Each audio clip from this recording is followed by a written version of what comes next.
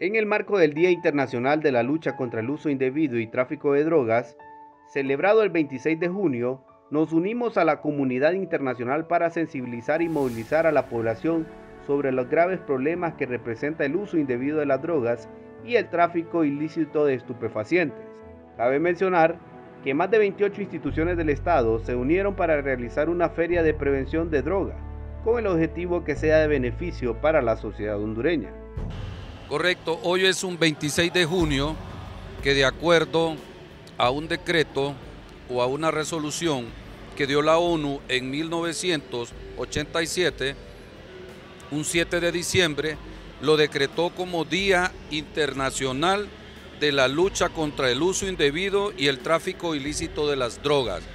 Hoy nosotros como una institución que nos encargamos de combatir y prevenir el consumo de drogas, estamos invitando a todos los colegios para socializar este día y instruir a los niños, ¿verdad? Porque la palabra de Dios dice que instruye al niño desde que es pequeño para que cuando sea grande no se aparte de sus caminos.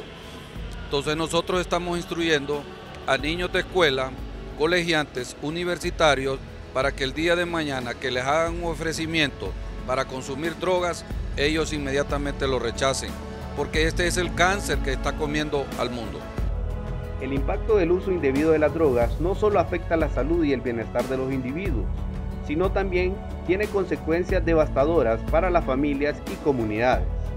En este sentido, reafirmamos nuestro compromiso como Policía Nacional con la promoción de las políticas de salud pública, prevención, tratamiento y reintegración social. Bueno, este día, el lema de este día eh, del uso indebido contra las drogas es la evidencia es clara. ¿Cuál es la evidencia que es clara? Que el consumo de drogas está ya en todos los países, por lo cual debemos invertir en prevención. ¿Cuál es la carta de presentación de nuestras instituciones?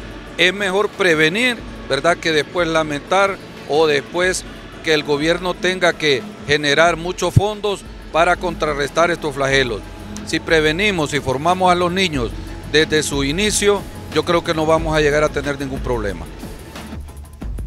Instamos a todos los ciudadanos a unirse a este esfuerzo global y contribuir a crear un entorno libre de drogas, donde cada persona puede alcanzar su máximo potencial.